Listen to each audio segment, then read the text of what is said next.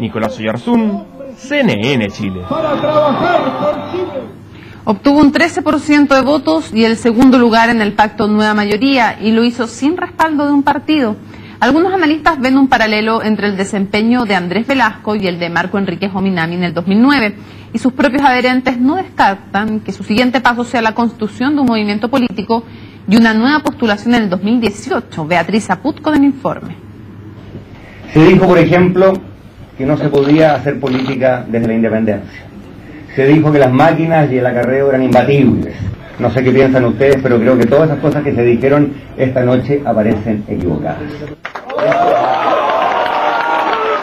Un segundo lugar en el pacto Nueva Mayoría con sabor a victoria, al menos para los adherentes de Andrés Velasco.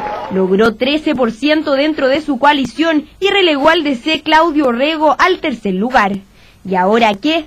En su comando insinúan que Velasco sigue con su opción política. Nosotros queremos de alguna manera, no sé, sabemos todavía si a través de un movimiento o de la forma que, que determinemos los próximos días, eh, encauzar ese activo electoral que tuvimos y ese capital político. ¿Han pensado en hacer un partido político? Yo creo que es prematuro todavía decir que sea un partido político. Algunos analistas trazan un paralelo con el efecto que logró Marco Enríquez Ominami en las presidenciales de 2009.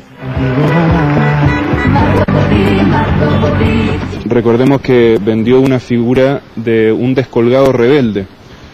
Eh, Velasco vendió una figura de un descolgado, pero hasta cierto punto coherente. Siempre ha sido independiente, nunca ha sido de la concertación, pero lógicamente no quiere cambiar absolutamente todo. Andrés Velasco 278 mil personas sufragaron por el ex ministro de Hacienda. ¿Qué características tienen esos votantes?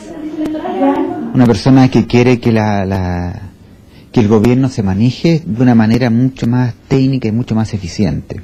Que, que, no confía en los partidos políticos, que no confía en los políticos tampoco. Velasco ganó en las comunas como Las Condes, Providencia, Vitacura, en términos de la nueva mayoría. Entonces eso significa que tiene un, un apoyo electoral de gente más ilustrada probablemente, con mayor educación y todo. Entonces, en ese sentido yo sería más cauta en la capacidad que tendría Velasco en términos políticos de conquistar otros sectores de la población que no sea solamente cierta élite.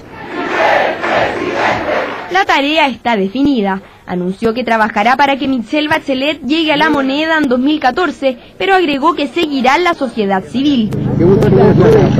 Mientras, en su comando no descartan la idea de Velasco 2018. Beatriz Aput, CNN Chile. Allá vamos. Bueno, hay toda una discusión sobre cuánto pesó en el caso de Andrés Velasco también lo que